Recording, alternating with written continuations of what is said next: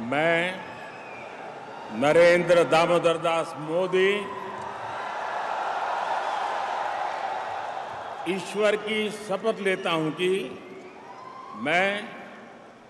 विधि द्वारा स्थापित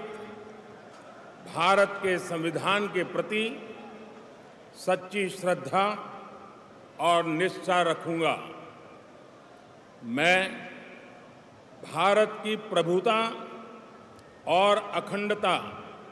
अक्षुण्ण रखूँगा। मैं संघ के प्रधानमंत्री के रूप में अपने कर्तव्यों का श्रद्धापूर्वक और शुद्ध अंतकरण से निर्वहन करूँगा, तथा मैं भय या पक्षपात, अनुराग या द्वेष के बिना सभी प्रकार के लोगों के प्रति संविधान और विधि के अनुसार न्याय करूँगा। मैं मैं नरेंद्र दामोदर दास मोदी ईश्वर की शपथ लेता हूँ कि जो विषय संघ के प्रधानमंत्री के रूप में मेरे विचार के लिए लाया जाएगा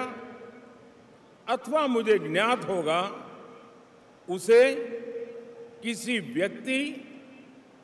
या व्यक्तियों को तब के सिवाय, जबकि प्रधानमंत्री के रूप में अपने कर्तव्यों के सम्यक निर्वहन के लिए ऐसा करना अपेक्षित हो, मैं प्रत्यक्ष अथवा अप्रत्यक्ष रूप से संसूचित या प्रकट नहीं करूँगा।